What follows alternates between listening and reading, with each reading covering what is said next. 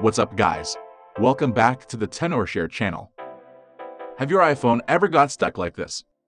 Sometimes your iPhone screen is frozen. You can't open apps on your iPhone screen.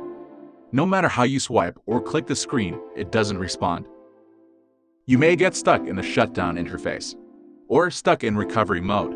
This could be due to an iOS system upgrade or other factor. No matter how, don't worry.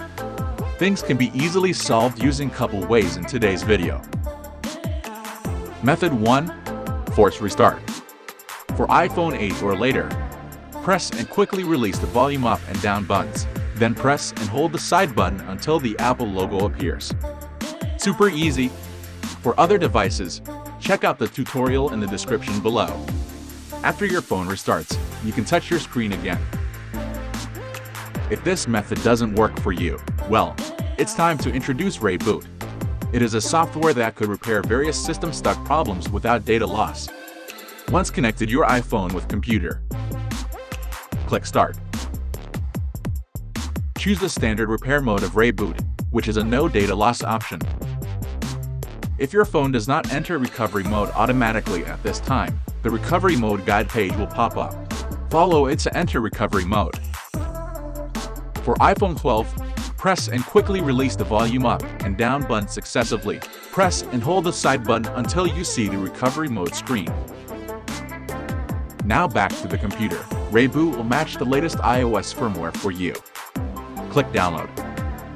Then, to begin repairing this iPhone, click Start Standard Repair. Now the standard repair is in progress. It takes only about 10 minutes.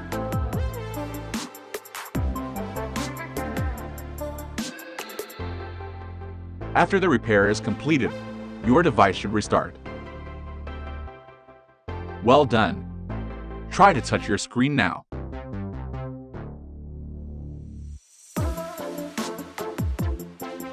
You can also restore your phone to factory settings in iTunes. However, in case of data loss, you should make a backup first.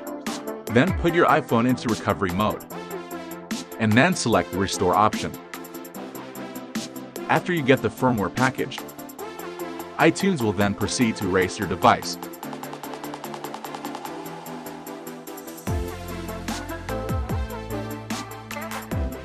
Now we can retrieve your data from the backup. If you have a large amount of data, it will take some time. Consider iCloud.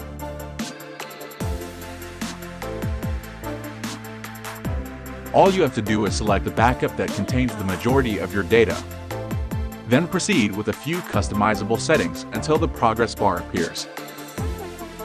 After that, your apps and files will be loaded from iCloud. So that's it. Thanks for watching. I hope this video is useful to you.